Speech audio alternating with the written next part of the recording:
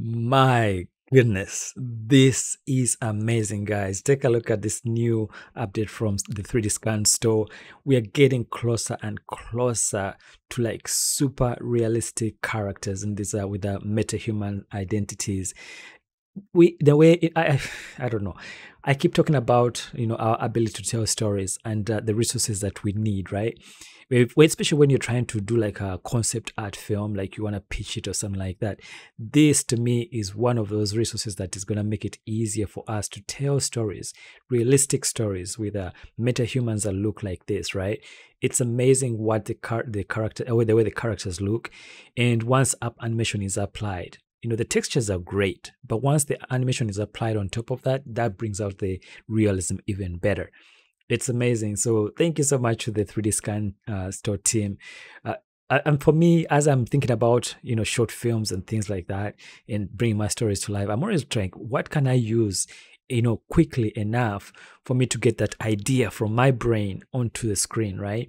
And sometimes it's a you may not be able to like sculpt. You may not be able to do 3d modeling and things like that. I think this is where this uh, resource comes in and uh, let me show you what some of the uh, over here is the website itself with uh, some of these meta-human identities. It goes a long way to helping us, like especially if you're if you're thinking of shooting like a, re- live like real life film, right? With uh, live cameras and things like that. Sometimes we made digital doubles, you know, to put that concept together. I think that's where the human identities come in because before, I mean, we, you had the meta humans and they look great, but I think this takes it to another level. To be able to get this type of uh, quality is incredible, right? This is amazing. And uh, guys i encourage you to try it out. They offer like free uh, textures and some of meta-human identities. Uh, i'm excited to be able to continue to do this and especially when you're creating like music videos as well right?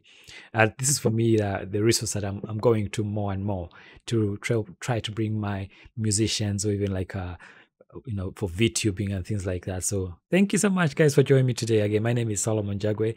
Thank you for joining me on my channel. Thank you for helping me to get to over 141,000 subscribers. Thank you to all my patrons. And I'm always, always praying for you guys. Please stay safe. Never give up on your dream and don't let those ideas stay inside. There's so many resources right now available to us to be able to bring these stories to life. And I think uh, this meta human identities is one of those resources. So give it a try. Let me know what you think about it. And I look forward to what you guys are going to create. There's a short film that I'm working on. I'm going to be using MetaHumans and I can't wait to share it with you. And thank you for voting for it, guys, in the community tab. Stay blessed. God bless you. Much love. Bye for now.